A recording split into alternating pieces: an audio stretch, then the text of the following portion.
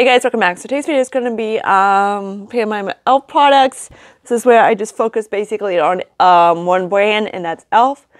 I did the whole ColourPop thing. Now, because they went bad really quickly, um, I got all of my um, cream products from ColourPop. I do have like a little four pan, which I need to use up. I'm kind of like, okay, I didn't have a hole, but yeah. So let's get started. I have one empty to show you. Um, and that's my concealer from the concealer, and this is in um, medium sand. This one is in the Hydrating Camo Concealer. Really? Okay. So this is what it looked like. I had like a little bit left around it, so I just scooped it in and stick it into my um, one um, concealer from uh, not Rena's, not Rena's brand, but the other one, Selena's brand. Rare from Rare Beauty. That's what it was. So there's that one. So this is what I was using it down here, type of thing, and then the other one I was using just to for the more darkness. This is what I was using for brightening.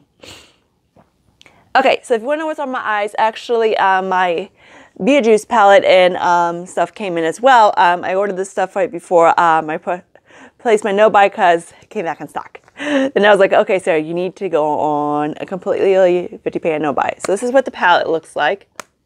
It is so freaking cute. This is what it looks like. So I have the purples and um, the greens. Um, it's been on my eyes since about probably about 8 o'clock this morning. Um, and it's like currently about close to 4. Um, so yeah, the formula is just beautiful. And then the highlight I absolutely love is the recent deceased. Both was on sale. Um, so there's that. I have these two on my um, as a highlight today. Um, I want to if you have uh, light skin. Um, this is not a palette for you. This is for tan and up. So I'm an NC40, and uh, this guy barely works for me. I haven't tried that one. So as long as you're like in my skin tone range, um, it will work. But if you're any lighter than me, uh-uh. okay. So let's go back. So there's that. Next, let's get into this guy right here. Um, this is what the um, pan looks like. Um, it's probably not going to have too much progress next month because my friend is heading over towards his uh, brother's for a while, so for Thanksgiving. So I won't be over his house until after uh, Thanksgiving. So I did expand a little bit on that one, then that. I believe I had three pants, so now I've got four. This one I really haven't touched, and that one I haven't touched. I go back between these two and make it kind of like a, like a blushy highlight. So I got a little bit of a dip in that one, and that one I haven't touched because it's a bone shade. So there's that guy. Okay, next I got it was my e.l.f. blush, and I have hit pan on this guy. You want to know my sinuses are messed up again? So that means my ears are messed up. So there's that guy. So I use this kind of like go around here. Today I didn't um, usually I do. I don't usually as on the cheeks. I just kind of like only works if you have an orange, really warm undertone to use like an orange blush, kind of like a bronzing-ish effect. Okay, then we have this guy. This guy is going to not show you too much progress. I guess you can kind of see this is starting to go down a little bit. I would like to hit pan on it soon, but not sure. Uh, I can.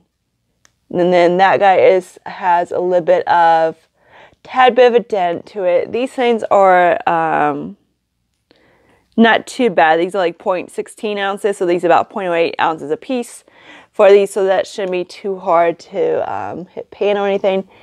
The blush is very um, pressed. I have my Dior blush on today in that one palette, which it does kind of work on my skin tone kind of just like mushes it together. Okay, so what I'm going to bring in is my other uh, Hydrating Camo Concealer. I did not realize I have two of these.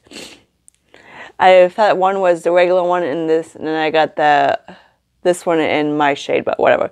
So this one is in Tan Natural. This is what I have beneath my eyes, of course, and I had to wear a mix. And I wear Franken, um, kind of like on a brighten. And this one works better for me. So there's that one. Basically, when I blend out, it matches my hand. When I do, cons- This one's starting to go bad too. Um, when I do concealers, I don't want it too light unless I do for like a brightening effect. I'm going to kind of like match it closely as I say I can to my eyes, underneath my eyes, then, um, well, my foundation, and then use like kind of like a hydrating, and then use a different concealer for like a brightening effect. So it's not like a Kardashian look. So that's where I'm at right now. Um, so this is gonna be fun. you probably won't see too much progress on this guy um, because he's the one I take to my friend's house, um, but you should see progress on the other ones. Um, then of course he's probably going. Then I might have like a few more uses on this one. Um, yeah, I do. It's it's, it's one similar to uh, hang on my nose to the Naked 3 and everything like that. So you might see some progress on this guy. I'm not sure. Um, oh, yeah, I do have a dip in this guy too. So yeah, oops. Um, but the only shades I have not touched much is this one right here and that one. These are the only two I haven't really touched. This one and that one is only two I haven't really touched. This one I have, uh, this is very light. This is kind of like my cliched in this palette. Anyways, um, like and subscribe to my channel. Um, next one is probably my, I'm not sure which one. Um, but anyways, um, like and subscribe and everything like that. And I talk to you guys later. Hopefully my voice doesn't sound like shit. And I talk to you guys later in my next video. Bye guys.